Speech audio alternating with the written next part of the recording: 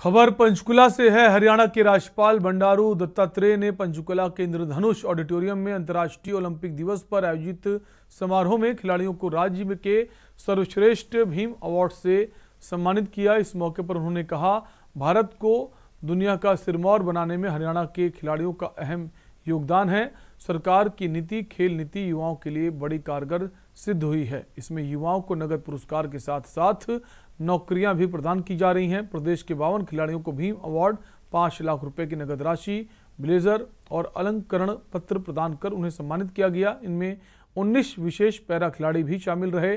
खेल एवं युवा मामले के मंत्री सरदार संदीप सिंह ने भीम अवार्डियों को अंतर्राष्ट्रीय ओलंपिक दिवस की बधाई देते हुए कहा कि खिलाड़ियों को मेडल जीतते समय जो खुशी होती है, उससे ज़्यादा खुशी अवार्ड लेते वक्त होती है। अर्जुन अवार्ड व भीम अवार्ड से सम्मानित होना गौरव की बात है।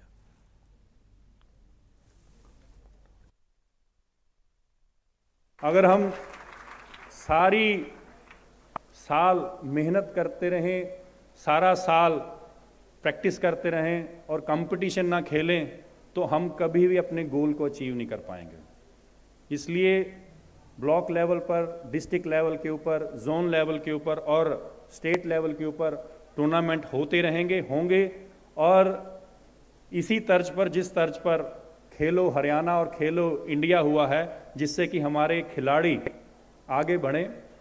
और साथ ही में कुछ ऐसी गेमें हैं जिसमें हम बहुत अच्छे हैं, चाहे वो रेसलिंग हो बॉक्सिंग हो हॉकी हो, कबड्डी हो हैंडबॉल हो, वॉलीबॉल हो, लेकिन इसके अलावा भी कुछ ऐसी गेम हैं जिसमें हमें इम्प्रूवमेंट की ज़रूरत है। देश में आज हरियाणा को खेलों का पर्याय समझा जाने लगा है।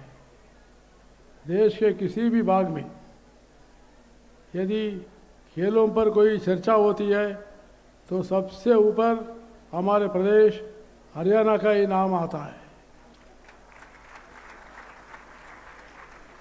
जबकि ओलंपिक राष्ट्रमंडल और कोई भी अंतर्राष्ट्रीय या राष्ट्रीय स्तर की खेल प्रतियोगिता होती है तो देश की रेटिंग एजेंसियाँ हरियाणा की ओर देखती है।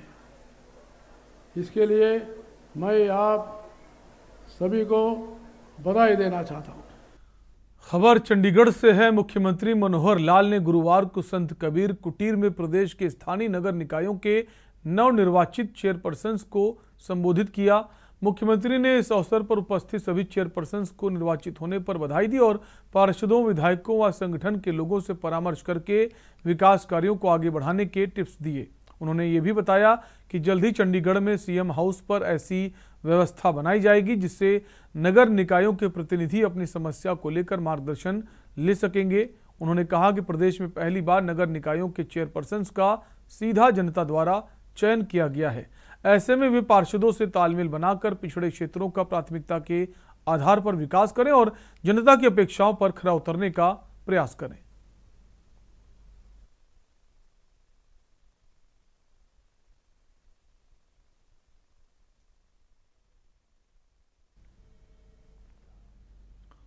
खबर चंडीगढ़ से है, हरियाणा जल संसाधन प्राधिकरण के चेयरपर्सन केशनी आनंद अरोड़ा ने उपचारित अपशिष्ट जल के फिर उपयोग पर बल देते हुए संबंधित विभागों के अधिकारियों को निर्देश दिए कि ट्रीटेड वेस्ट वाटर पॉलिसी 2019 के तहत निर्धारित मानदंडों का सख्ती से पालन किया जाए।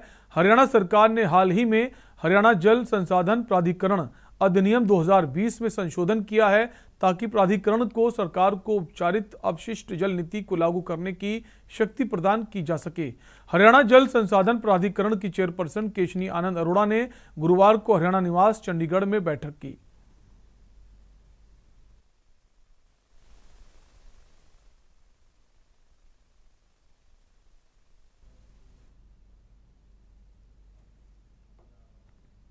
एक और खबर चंडीगढ़ से है। हरियाणा के मुख्य सचिव संजीव कौशल ने गुरुवार को चंडीगढ़ में जेलों में फायर सेफ्टी ऑडिट को लेकर बैठक की। उन्होंने कहा कि मुख्यमंत्री मनोहर लाल के निर्देशानुसार प्रदेश के सभी सरकारी भवनों, जैसे लघु सचिवालय भवनों, नागरिक अस्पतालों, चिकित्सा महाविद्यालयों, नगर निकायों और जेल भवनों में आग से बचाव की घटनाओं के सभी प्रबंध होने चाहिए। उन्होंने जेल अधिकारियों को निर्देश दिए कि जिला जेलों में जो भी आवश्यक बदलाव किए जाने हैं, उनकी विस्तृत सूची तैयार की जाए और जल्द ही संबंधित विभागों के साथ बैठक कर कार्य योजना बनाई जाए। हरियाणा की जेलों को आग की घटनाओं से सुरक्षित रखने के लिए नेशनल बिल्डिंग कोड के अनुरूप फायरिंग, फाइटिंग स्कीम बनाए जाने की बात कही।